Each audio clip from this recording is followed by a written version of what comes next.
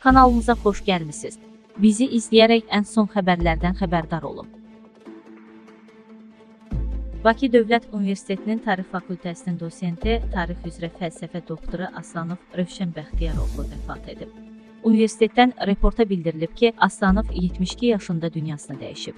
Qeyd edək ki, Aslanov 1967-1973-cü illərdə Bakı Dövlət Universitetinin Tarix Fakültəsində təhsil alıb.